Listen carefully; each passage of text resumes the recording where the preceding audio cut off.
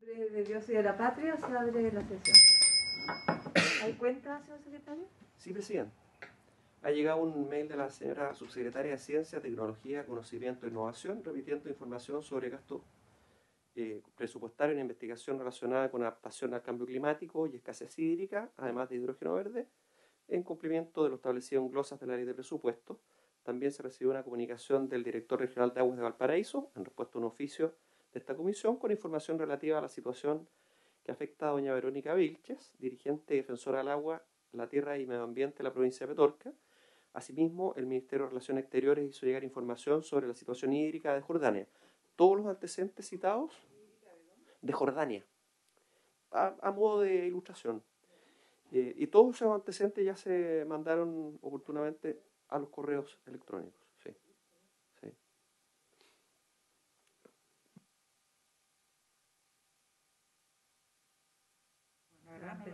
Sí. Lo que pasa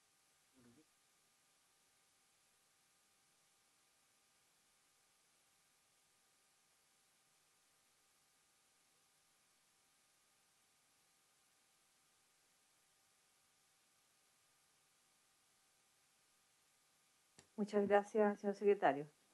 Ofrezco la palabra sobre la cuenta, colega, el senador Allende. Sí, no, lo que yo quería solicitar, más allá de cuenta, no estábamos fuera de micrófono, pero son consultando, pero igualmente yo quiero formalizar el saber desde cuándo estamos esperando, digamos, las indicaciones que nos ah, que todavía nos debe el Ejecutivo en relación al proceso de desalinización. La verdad que ha sido extremadamente largo, yo esperaba que antes que terminara esta legislatura pudiésemos haberlo tratado en la comisión y, siento, lo debo decir, presidente, usted que lo ha impulsado también tanto de una enorme frustración porque no, no va a ser posible que con esta comisión, con este integrante de la comisión, hayamos podido verlo simplemente porque el Ejecutivo lo ha rechazado, rechazado. Y como yo decía fuera de cámara, pero lo quiero decir porque quiero saber con exactitud cuánto tiempo, porque claro, después nosotros aparecemos responsables de la lentitud de las tramitaciones. Y la verdad es que con buena fe hemos estado esperando que solucionara las divergencias o diferencias que podrían haber tenido entre distintos ministerios, pero creo que ya ha pasado el tiempo más que necesario. Eso por un lado. Y yo no sé en qué estamos también en eficiencia hídrica, que es el otro gran proyecto que también estaba pendiente. Entonces quisiera como para las dos partes oficial para saber todo el tiempo que les ha tomado y en qué estado estamos y qué plantean hacer, porque cuáles en definitiva lo van a hacer llegar cuándo, eh, habrá que empezar eh, completamente de nuevo después, digamos, con los nuevos integrantes.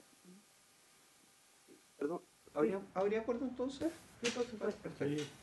Yo eh, agregaría, en secretario, a lo que plantea la senadora Allende, quizás poder tener un registro cronológico de, de la tramitación de este proyecto, porque entró el 2014 ¿Te acuerdas que lo además fue aprobado transversalmente en la sala, eh, lo firmó Waldo Procuriza, imagínate la época que estamos hablando, de esta desalinización. Ah, sí, no, pero el de desalinización. No, no, no, no, este entró el año, no, entró en 2018. No, el 2018. Sí, 2018. ¿2018? Sí, el 2018. Ah, ese fue el de, de la utilización de aguas grises. Ah, ya. Que todavía no tiene reglamento. 2018. Ya. Y ahí ver, porque lo habíamos aprobado nosotros en, en sala y en... Lo que pasa, eh, Presidenta, es que este proyecto efectivamente eh, tuvo un primer informe, después tuvo un segundo informe y lo que se acordó fue eh, que se hiciera un informe complementario del segundo informe. Es eso lo que fundamentalmente alude a la senadora Allende y en abril de 2021 se acordó conformar esta mesa técnica que estuvo trabajando intensamente y eh, se pidieron eh, diversas prórrogas de plazo para despachar el informe complementario, la última de las cuales venció el 18 de enero, pero a la luz de que todavía no estaba el texto de la indicación, eh, se acordó esperar que llegara la indicación firmada para pedir esa nueva prórroga de despacho dentro del cual, dentro del plazo ese, poder conocer las indicaciones pertinentes, que como les adelantaba, me, me decía Bordo Pérez, el jefe de la división legislativa de la DGA, debiera ingresar hoy día al Senado. Eso es lo que me, me, dijo que lo tenía la SECPRES, pero hasta el minuto yo fui ahora a la eh, Secretaría del Senado, no ha ingresado hasta este minuto. Pero, Presidente, Yo estoy de acuerdo con usted, que igual nos haga esta cronología formal por escrito, para poder en el momento dado incluso dar cuenta en la sala, poder decir, porque hemos aparecido por lo menos tres veces, si no cuatro, postergando, postergando, postergando. Entonces me gustaría mucho que quedaran claras las, las digamos, etapas, lo que se ha demorado y la responsabilidad. ¿Acordado, colega? Muy bien. Pasamos entonces a la tabla y tenemos eh, propuesto continuar el estudio del proyecto de ley en primer trámite constitucional, iniciado en mensaje Su Excelencia el Presidente de la República, que crea la Subsecretaría de Recursos Hídricos en el Ministerio de Obras Públicas y una nueva institucionalidad nacional de recursos hídricos. Para eso tenemos invitados hoy día de la Fundación Nehuenco a la directora ejecutiva, señora Evelyn Vicioso, y al secretario del directorio y director de gobernanza hídrica, señor Pablo Aranda. Los saludamos, eh, bienvenidos y muchas gracias por estar en nuestra comisión. Vamos a entregar la palabra don Jorge. Sí, eh, muy breve, Presidenta. Solamente quería hacer presente que la eh, académica Verónica Delgado, que también está invitada,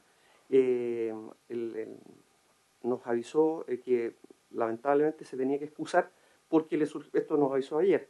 Le surgió de un día para otro, como ella es académica, una defensa de tesis que lamentablemente coincidía con el horario de esta sesión, así que se excusaba por esta sesión. Muy bien, quedará inscrita para las próximas sesiones. Vamos a entregar entonces la palabra a la directora ejecutiva, señora Evelyn Vicioso, y muchas gracias, señora Evelyn, por estar participando en, nuestra comisión. Le ofrezco la palabra. Muchas gracias por la... saludar 9 de marzo después de una marcha tan grande, sobre todo ustedes dos senadoras, por eh, también marcar un poco el camino a, los liderazgos femeninos. Y, en eso, antes de, entrar en detalle a, lo que nos invitamos, queríamos solo hacer algunas precisiones que nos parece que son relevantes para la gestión hídrica respecto a las mujeres y agua. Eh, bien cortito, eh, decirles que el rol de las mujeres en la gestión hídrica es de usuarias, administradoras conservacionistas políticas y científicas, pero que lamentablemente eh, tenemos una paradoja importante acá. Somos las más eficientes en gestión hídrica, pero las que menos concentramos derechos de aprovechamiento y las más afectadas con la crisis hídrica. Punto que nos parece muy importante cuando estemos pensando una, eh, un proceso de eh, institucionalidad que pueda permear más allá del de, el mediano y el largo plazo.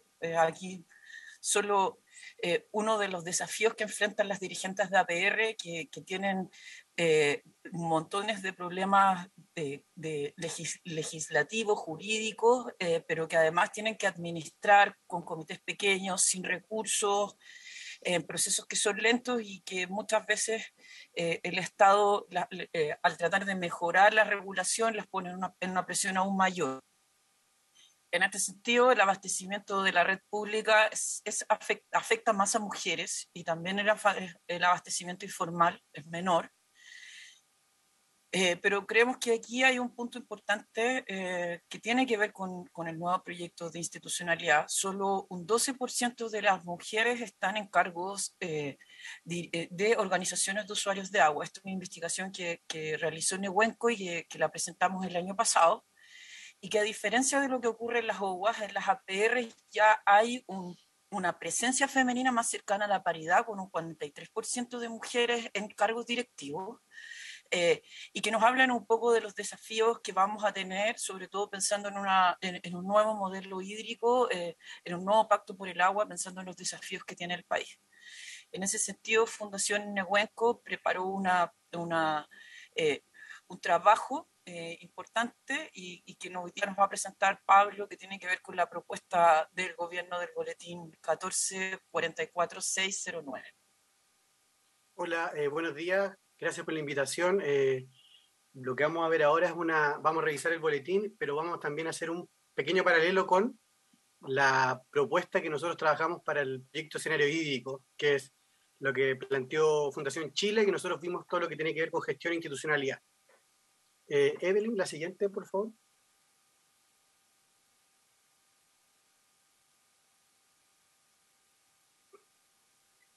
Aquí hay algo bien, bien interesante, porque en los dos diagnósticos, es decir, lo que plantea el proyecto, que se, que, se, que se marca en lo que es la Mesa Nacional del Agua, establece que hay una falta de definición y continuidad de políticas y objetivos sectoriales, deficiencias en la coordinación institucional, falta de jerarquía y estatura de la autoridad del agua, insuficiente financiamiento. Eso es lo que establece la Mesa Nacional del Agua y que se señala en el proyecto de ley, que, que es lo que funda este proyecto de ley. Y por su parte, la propuesta que hace Fundación Nehuenco se plantea en el marco de lo que ya les comenté de Proyecto Escenario Hídrico y se elabora una propuesta que es co-construida con distintos actores. Esto fue un proceso súper largo que lo vamos a ver más adelante, pero lo importante es que la gobernanza del agua se plantea con la participación de múltiples actores y en los distintos niveles, nivel nacional, nivel regional y nivel local o territorial que podríamos decir gestión de cuenca, ¿ya? Ambos parten de la base de, de, que hay una escasez hídrica en el país fuertemente y que requerimos una nueva institucionalidad. Y el proyecto de ley presentado en junio del 2021, junto con la propuesta de Nehuenco, eh, toman como base el informe del Banco Mundial del, 2003, del 2013, que es bien relevante, que es el punto de, de partida tanto del proyecto de ley como de nuestra propuesta. La siguiente, por favor.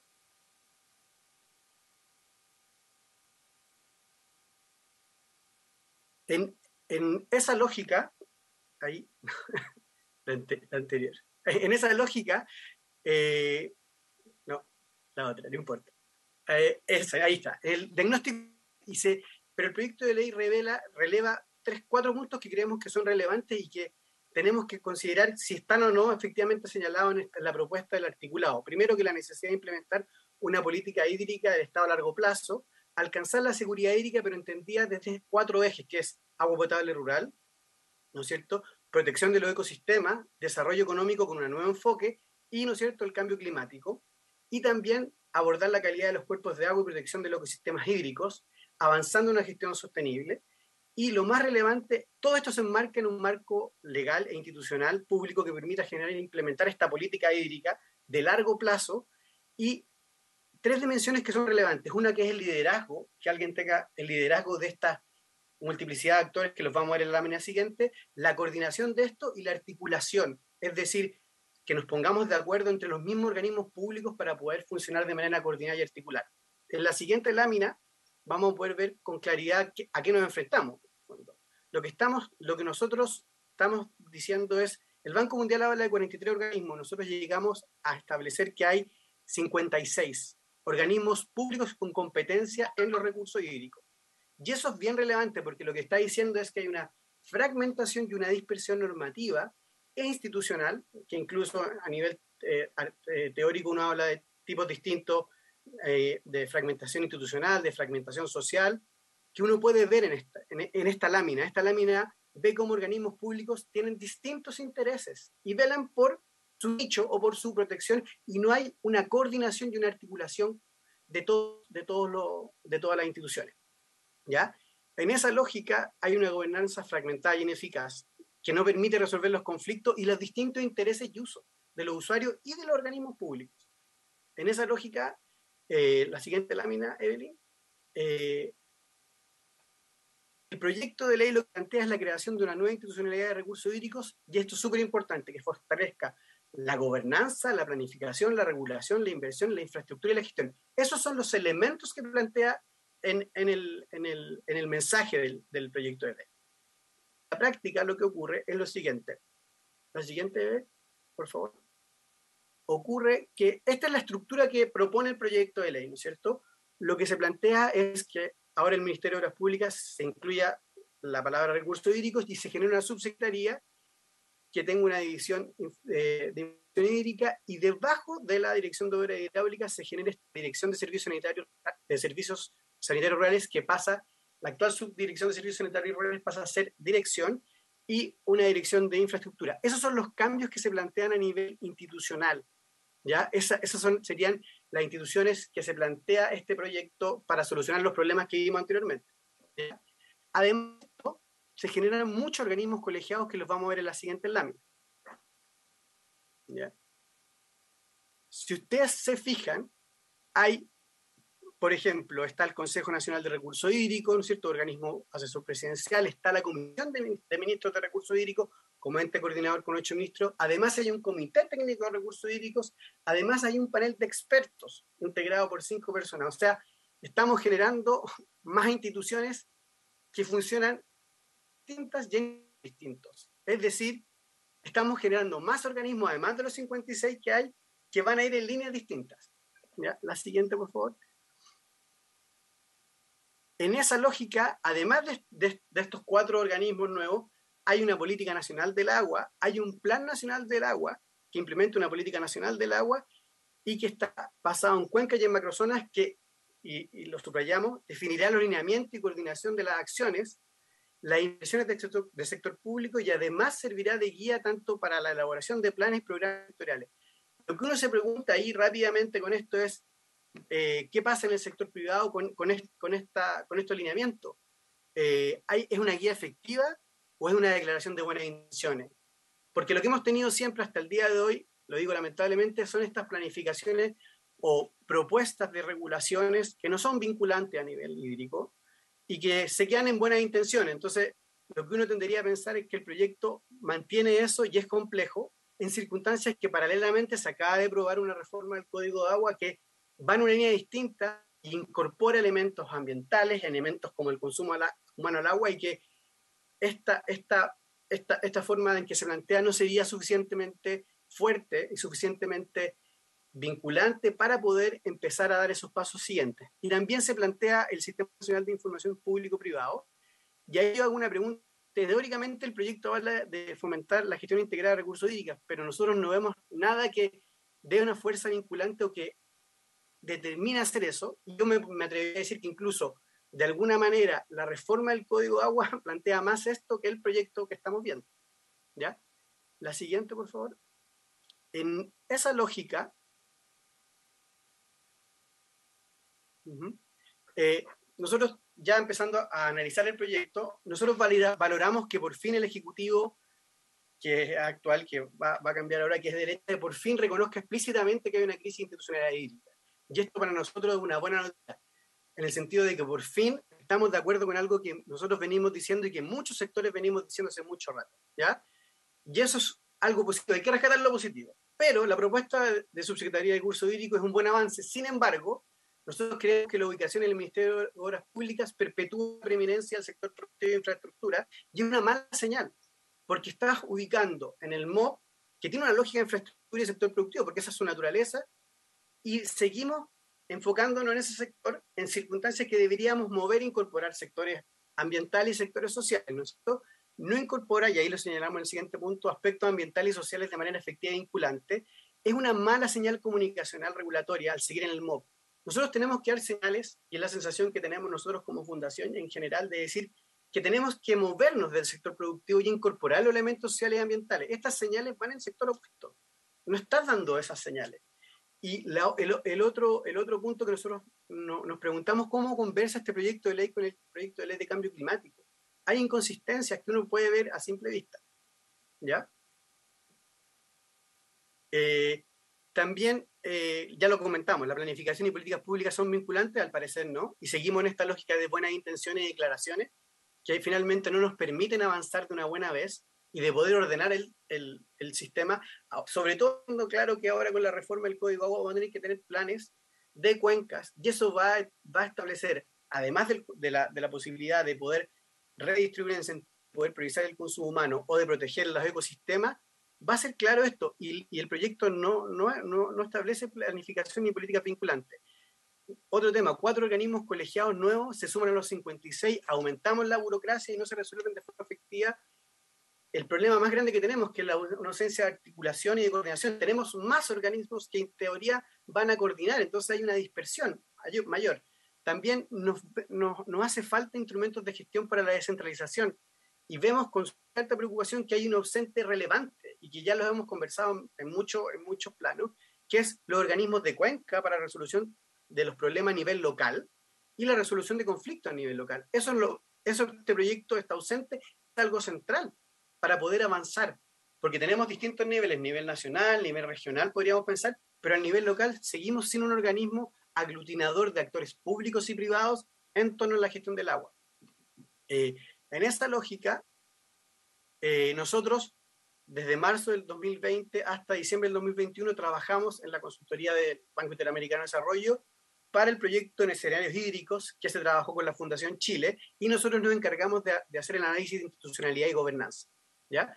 En esa lógica, lo que nosotros hicimos fue, vamos a mostrar esta lámina muy corto, hicimos un abordaje diagnóstico que aplicó análisis FODA, política pública, distintos actores, desde la academia hasta sistemas de APR, eh, juntas de vigilancia, académicos.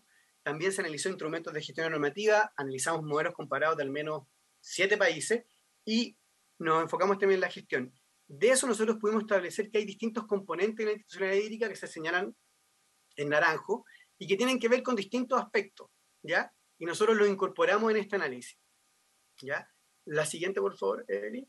En, en esa lógica, eh, nosotros lo que pensamos como forma de nueva institucionalidad, intentando ser realistas y intentando partir no de cero, sino partir desde lo que hay, porque desde lo que hay tenemos que construir, ¿ya? Nosotros, lo que nosotros estamos planteando es un Ministerio de Medio Ambiente y que en el Ministerio de Medio Ambiente se genere una subsecretaría del agua, ¿ya? Y que la Dirección General de Agua actual, que tenga mayores competencias y mayores atribuciones, se genere una, una modificación en que pase del MOP al Ministerio de Medio Ambiente y generemos estos dos organismos en, la, lógica de que van a haber una Agencia Nacional del Agua que va a ser un componente técnico, lo vamos a ver en la lámina siguiente, y van a haber agencias regionales que se van a relacionar con las corporaciones de cuenca.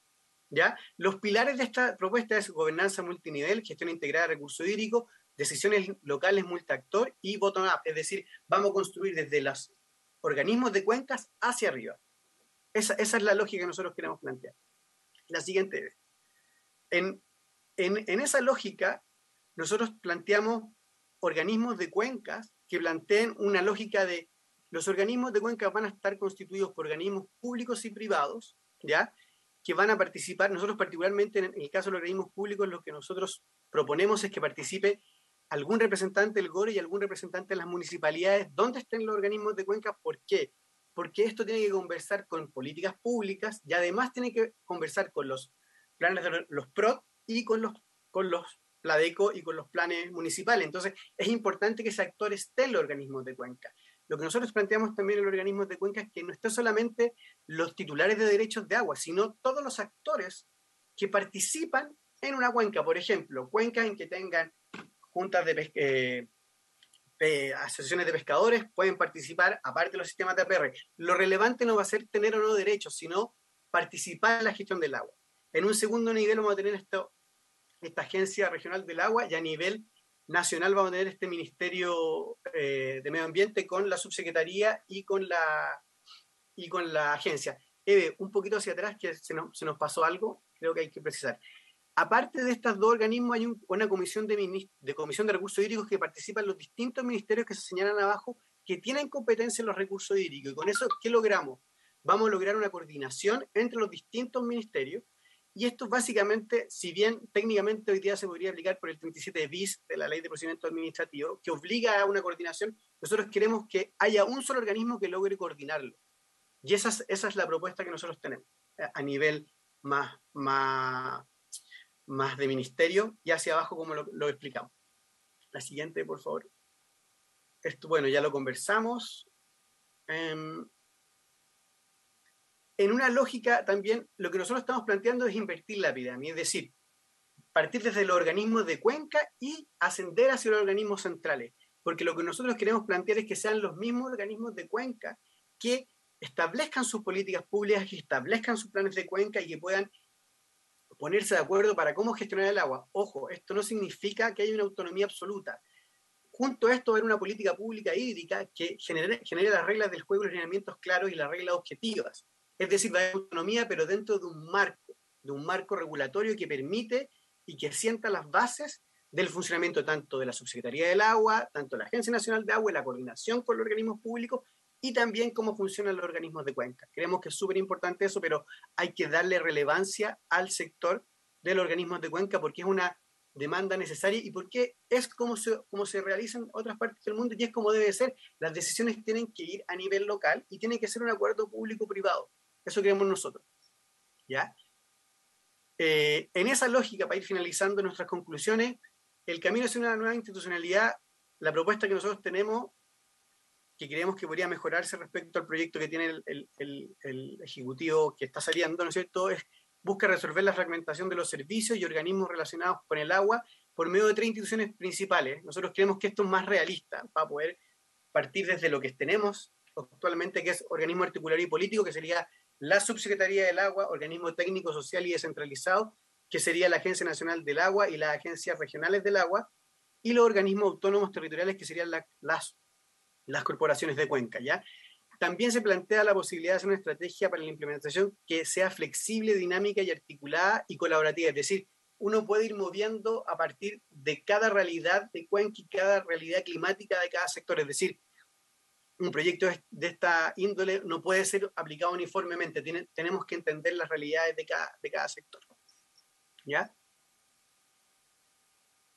En esa misma lógica, ¿no es cierto? Eh, es importante que desarrollemos un mecanismo de participación a nivel local y territorial, escuchando a las comunidades de los actores, sean titulares o no de derechos, y también trabajando con el sector público de una manera integrada. Aquí, esta separación que ha existido siempre a través de las organizaciones actuales, en que el sector público no puede participar, no beneficia a nadie. Y lo que viene ahora, particularmente con la reforma del Código de Agua, es totalmente lo contrario. Entonces tenemos que plantearnos en esa lógica y creemos que este proyecto, si se hace una indicación sustitutiva por, la nuevo, por el nuevo Ejecutivo, podría incorporar estos elementos como una señal de ir avanzando, porque la reforma del, Código de Agua lo que le falta es una buena institucionalidad, porque hay unas buenas normas que se, que se acaban de aprobar. ¿ya? También fomentar la asociatividad entre los distintos usuarios del agua a nivel territorial para incentivar formas de compartir el agua y buscar eficiencia del uso, el reuso, la desalación, por ejemplo, los acuerdos recíprocos por el agua entre los nacientes del, de, de la cuenca y la, las desembocaduras, ahí hay, hay muchas oportunidades y hay muchos ejemplos comparados que son bien interesantes, pero requiere ayuda del Estado, requiere subsidio y requiere posibilidad de juntarse a trabajar en común. Y también, finalmente, mostrar mecanismos efectivos para incorporar la perspectiva de género en la nueva institucionalidad del agua en todos niveles. Ahí yo, quisiera dejar a la, a, la directora para que explicara la perspectiva de género, que creo que es muy relevante. Solo ahí para complementar, eh, les mostrábamos dos, dos, datos que tenemos sobre la gestión hídrica, la importancia de las mujeres versus eh, los efectos que tiene en la vida de las mujeres. Creemos que es importante tener eh, capacidad de poder generar planes que integren a las mujeres con una perspectiva de género que permita entender que la participación de las mujeres va con eh, cuidado, con menos tiempo, porque tienen menos tiempo disponible, pero porque también tienen más desafíos. Eh, la pobreza hídrica está afectando a las mujeres rurales, eh, la falta de participación y sobre todo la falta de incorporar mecánicas o instrumentos que sean más locales, más pequeños, potenciar alguna, la, la, agricultura local y a las pequeñas agricultoras. Y en ese sentido es importante generar un marco de ley que permita también generar eh, prácticas más sencillas, más simples de administración, eh, capacidad eh, local y, ¿por qué no?, incluso remuneración a algunas dirigentes que hoy día tienen que, sobre todo las dirigentes de APR, que tienen que cobrar cuentas, tienen que ser científicas, explorar la calidad del agua y más encima tienen que estar enfrentando la escasez hídrica en sus territorios y con falta de de claridad jurídica respecto al, uso de agua, la capacidad eh, eh, de ecosistemas que tengan la capacidad de caudal, y se arma un, proceso que es muy complejo y que está desgastando y que el, problema más grande que tenemos es que las, las, APR no están renovando a sus dirigencias. En ese sentido, eh, una nueva, un nuevo pacto social por el agua tiene que incorporar una visión de género que permita ir renovando también las organizaciones, principalmente las asociaciones de agua potable rural con eso cerramos. Muchas gracias por la invitación. Gracias por la invitación. Eh, muchísimas gracias por, eh, por la exposición eh, a, Evelyn y a, Pablo. Muchísimas gracias. Es un trabajo muy completo y muy importante como insumo para la, el debate que tenemos en esta comisión sobre la propuesta del proyecto de ley que crea esta Subsecretaría del Agua. No sé, colegas, si tienen algunas consultas. Yo solo una en relación a cómo, cómo se articula estos, eh, estos organismos autónomos de Cuenca, que yo comparto plenamente el giro eh, de la pirámide, eh, cómo, cómo, se articula con, una, con la subsecretaría, ¿cierto? con la agencia, cuál es la, la, articulación institucional. Porque ahí hay un rango de autonomía, entonces es difícil entender cómo se combina autonomía con, con, jerarquía institucional. Eso es un poco mi consulta. Allende. En primer lugar, agradecer realmente a la Fundación Nehuenco por toda esta exposición y hacer ver que efectivamente yo creo que lo tengo que revisar muy en detalle, pero la apreciación, la primera apreciación que uno tiene de la propuesta del Ministerio de Obras Públicas es que efectivamente termina generando unas nuevas institucionalidades que al final es mucha burocracia, mucha institucionalidad nueva y muy difícil la coordinación y yo en eso comparto plenamente que debiera haber como tres instancias, por lo menos aquí lo que se sugiere, eh, bien concretas. Y eso acá un poco con esta multiplicidad de, porque lo que se trata de remediar pareciera que se ahonda en lugar de remediarlo en la propuesta que ha hecho el Ejecutivo. Eso es lo primero. Tengo la impresión además que en eso coincide con la Fundación Chile y, y, y coincide también es una pena que no haya podido venir la profesora Verónica Delgado, imagino que en otro momento la podemos escuchar, pero ella siempre también ha sostenido la importancia desde las cuencas justamente para la gestión, algo que también la Fundación Chile así lo estima y va en una línea muy diversa o contraria, si se quiere, o se contrapone a lo que es la actual propuesta del Ejecutivo. Entonces, y aquí también Nehuenco de alguna manera también Esto sí, Aquí veo algo que no me parece que había planteado la Fundación Chile, o, tampoco creo que la profesora Delgado, pero en fin, esto de trasladarle eventualmente la subsecretaría al Ministerio de Medio Ambiente y sacarlo de, de Obras Públicas.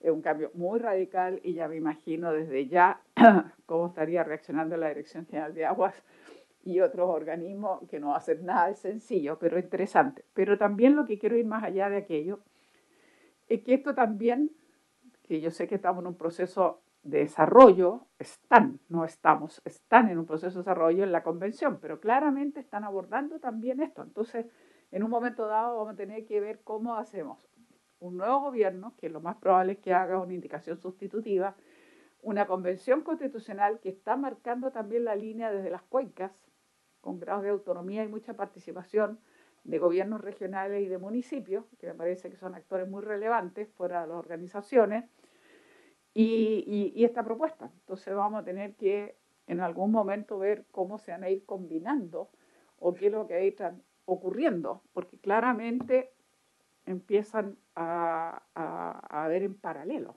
digamos.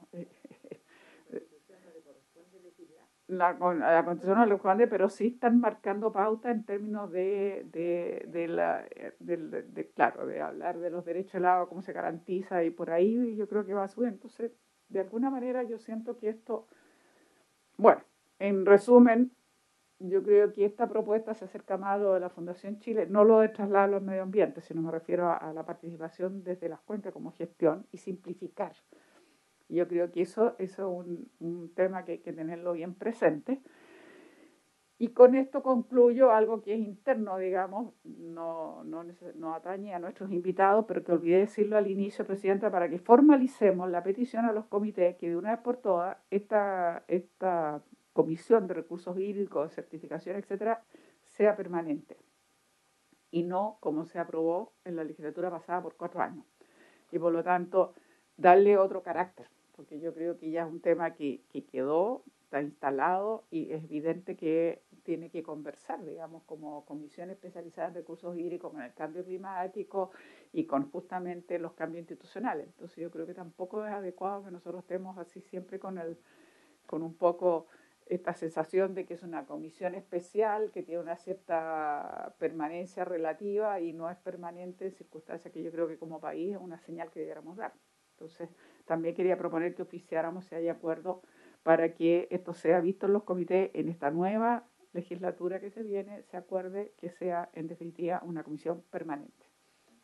Gracias. Eh, eh, senadora Allende, hemos pedido, bajo su presidencia, bajo la mía, esta comisión, insistentemente desde el 2014 que se creó la comisión, eh, a través de proyectos hemos presentado la comisión de constitución y no nos han respondido. Entonces creo yo que la nueva mesa podría dar un mandato a así como lo digo para intervenir la Comisión de Derechos Humanos, podría dar un mandato a que la Comisión de Constitución en un fast track, porque esto es una campanilla, pueda formalizar la... la, la, la, la Necesariamente tiene que ser la Comisión de Constitución. Así es. Si la sala acuerda, perdona, pensé que si, si los comités acordasen unánimemente y se plantea que la sala tome la decisión, yo creo que no es necesario que sea solo la Comisión de Constitución, sino que sería la sala que acuerde. Quiero preguntar si es posible lo que yo estoy diciendo o yo estoy equivocada.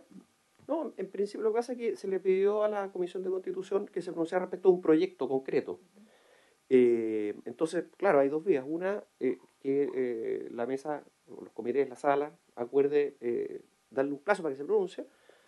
O bien, muchas veces se exime el trámite de comisiones a algunos proyectos.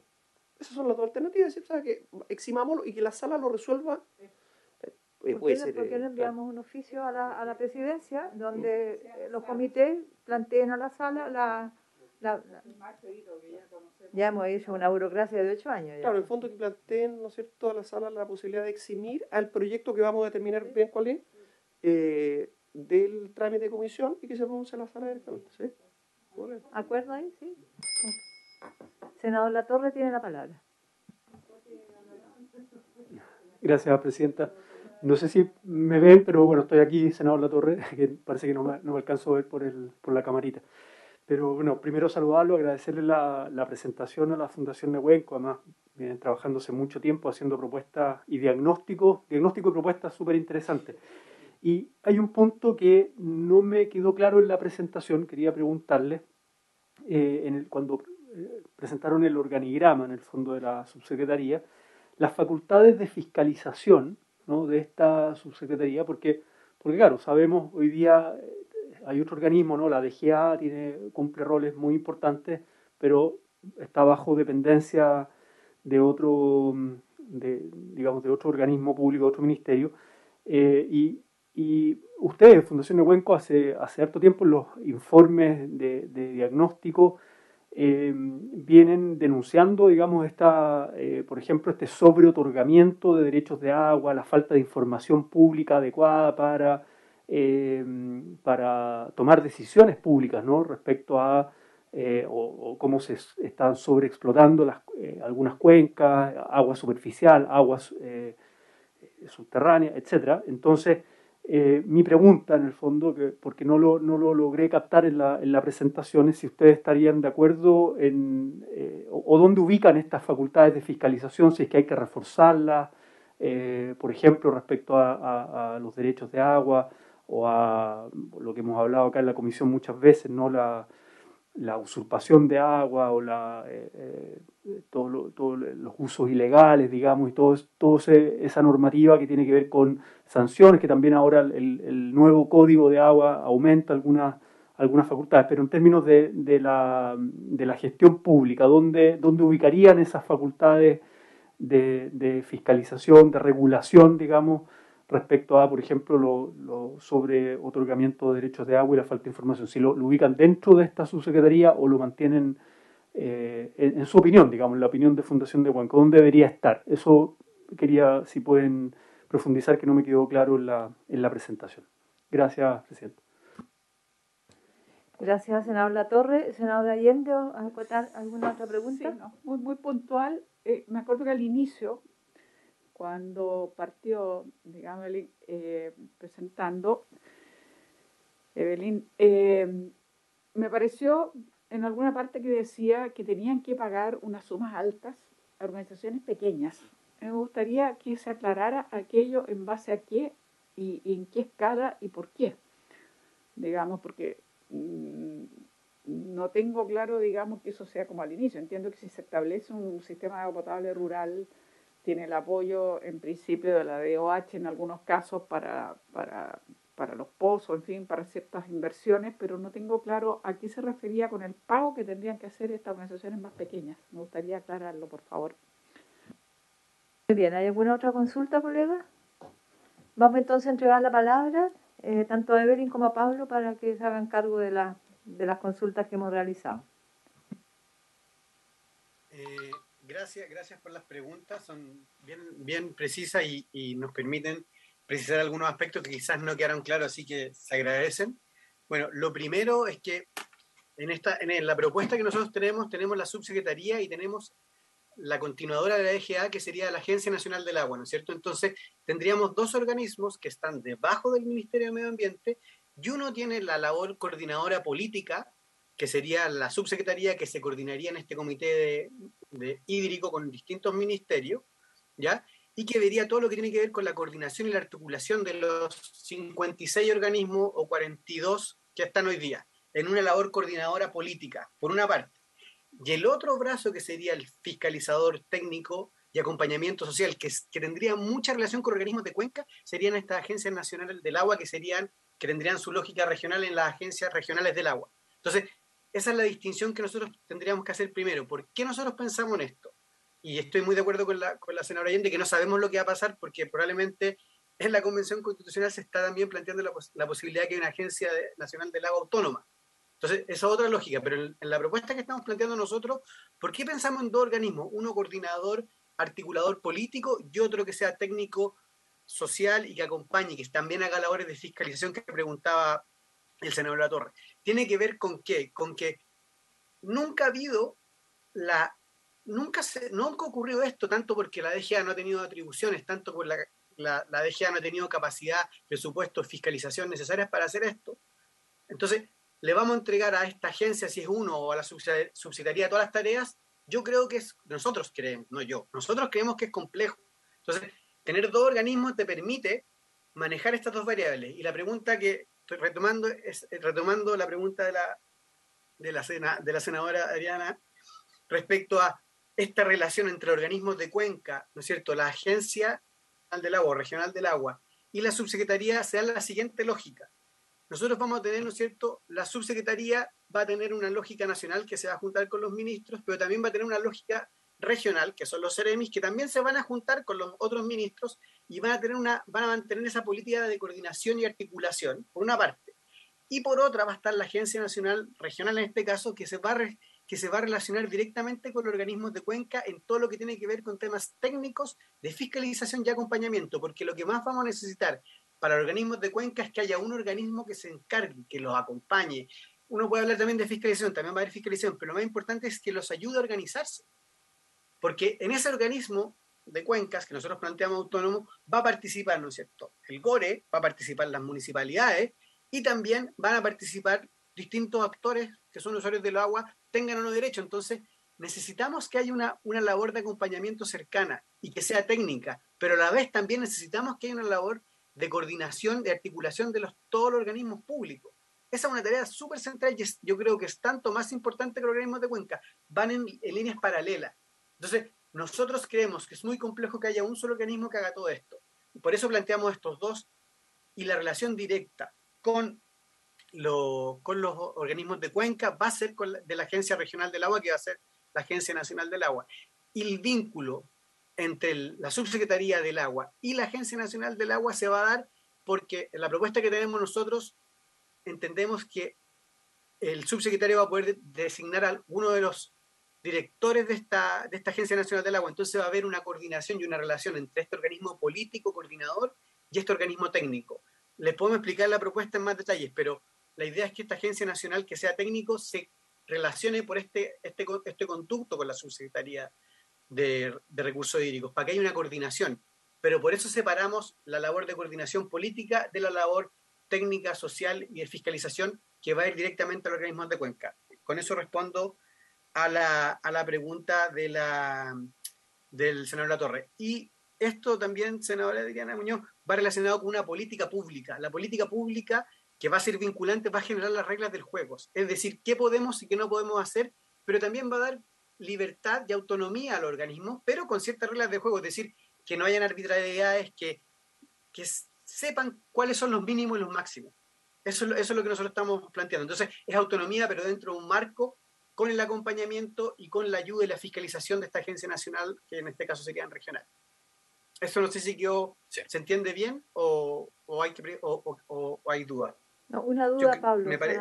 Sí, una duda. por favor la subsecretaría y la Agencia Nacional del Agua están al mismo nivel eh, de, jerarquía o es el subsecretario el que me pareció escuchar el que, el que nombra o designa al, a quién va a ser el director de la Agencia Nacional del Agua. No, lo, lo que pasa es que ahí nosotros, no, es que ahí, ahí eh, el tema, pues lo puedo explicar largo, pero el tema es que la idea es que haya un director que lo determina el presidente, pero hay un órgano colegiado en esta agencia nacional, que son cinco, lo puedo explicar en el fondo. Uno que es designado por el presidente, otro que es designado por el subsecretario para que haya alguien del lado político y coordinador en el, en el brazo técnico, dos que son designados por eh, la academia y uno que es designado por los organismos de por los servicios sanitarios rurales o, los organismos de los organismos de los organismos de usuarios del agua. Ahí tenemos que ver, pero serían cinco distintos. Y uno de esos es, el, el, que desarrolla todo el tema ejecutivo.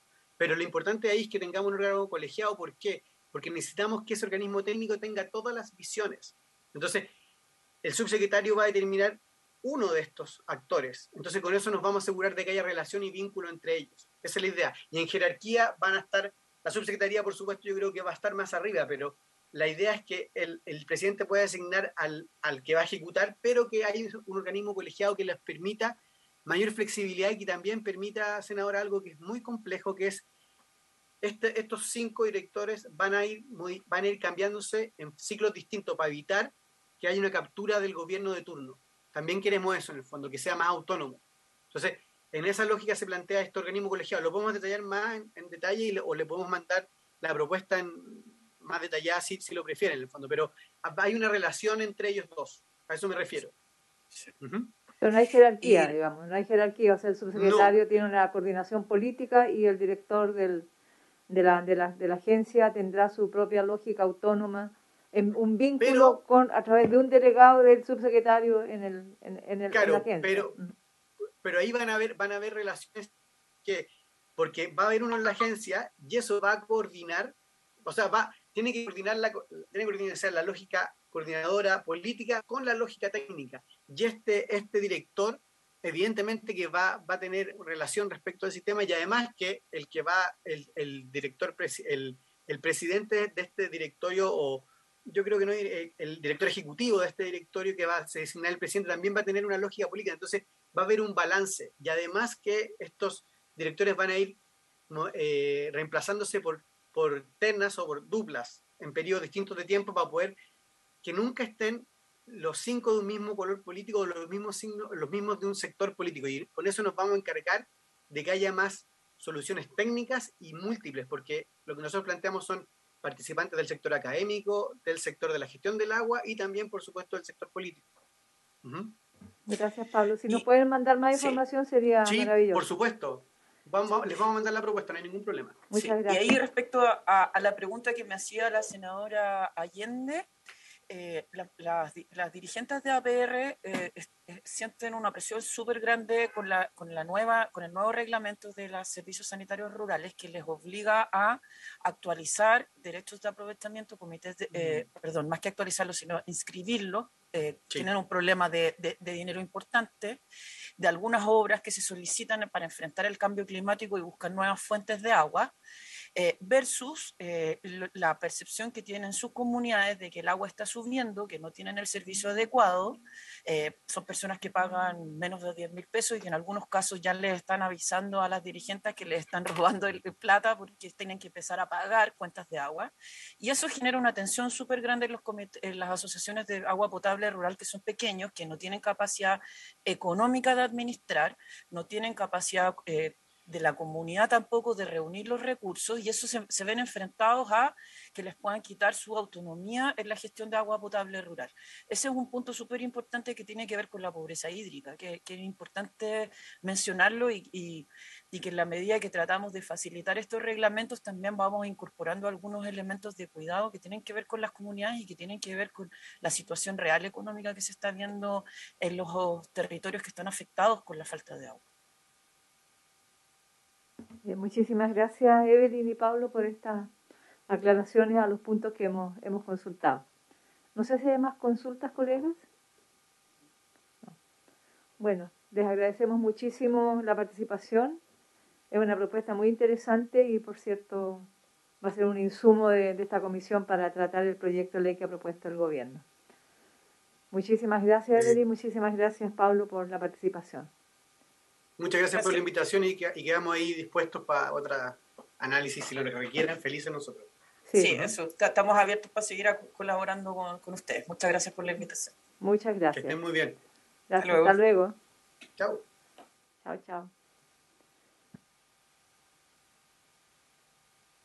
Tenemos otro punto en la tabla. No sé si hay alguna otra consulta, senador Alvarado. No, Presidenta, solamente como en la última sesión en la cual, o al menos participo, quisiera agradecer a usted que nos ha dirigido, a quienes han tenido la presidencia de esta comisión, al equipo de secretaría, ¿eh? al equipo administrativo, y fundamentalmente destacar la buena relación que hemos tenido como colegas, con nuestras diferencias, como es obvio, pero siempre nos hemos respetado y hemos tratado de hacer un trabajo en conjunto por el bien ¿no es cierto? de las personas que esperan de nosotros una contribución importante para mejorar su condición y calidad de vida. ¿ah? Así que muchas gracias, que aquellos que quedan tienen una gran responsabilidad de tratar de mantener este Congreso. ¿ah? y me reservo las bromas del inicio de la sesión, ¿ah? pero de verdad, yo creo que el Senado es una institución histórica que ojalá se pueda cuidar y preservar.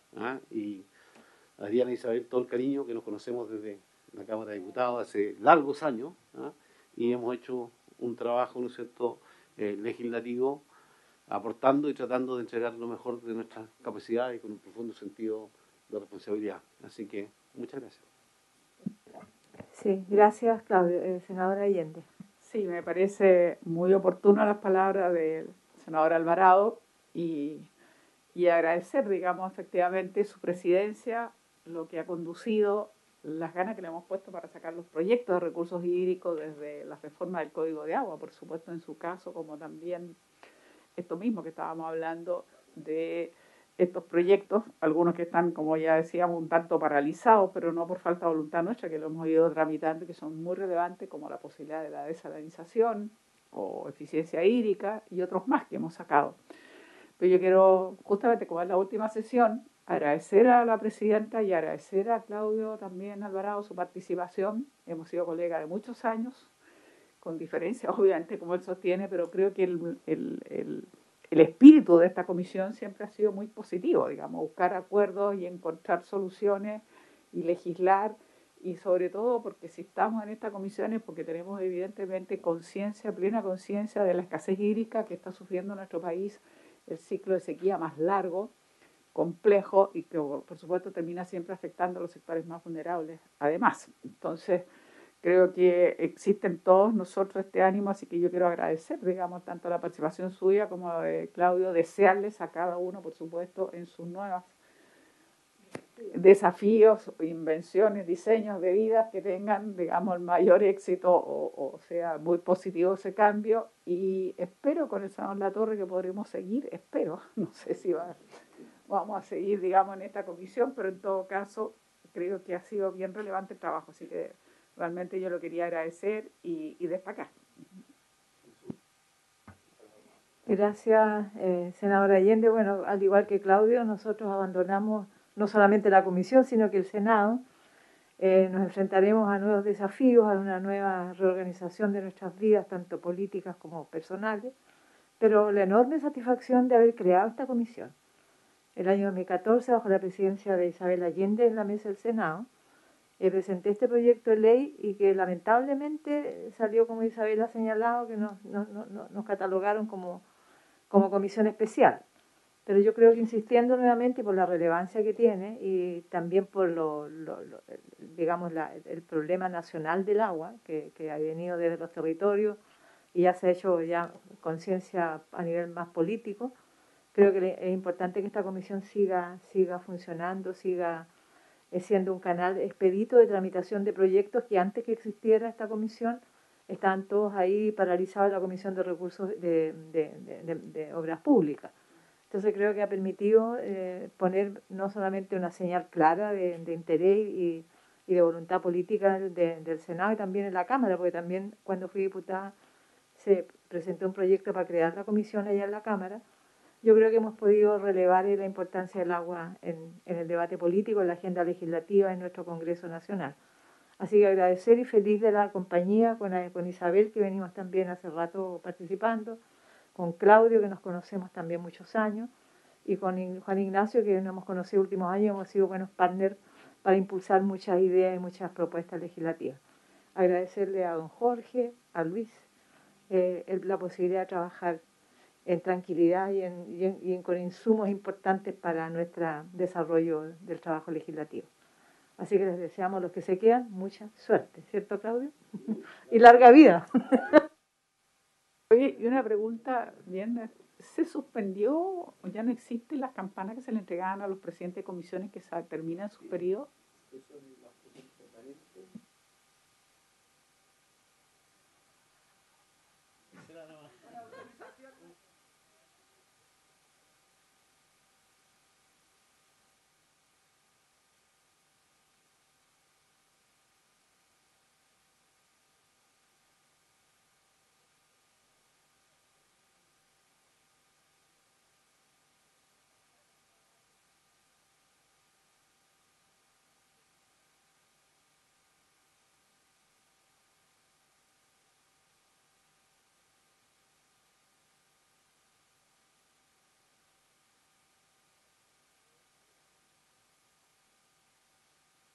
Por haberse cumplido el objeto de la sesión, esta se levanta.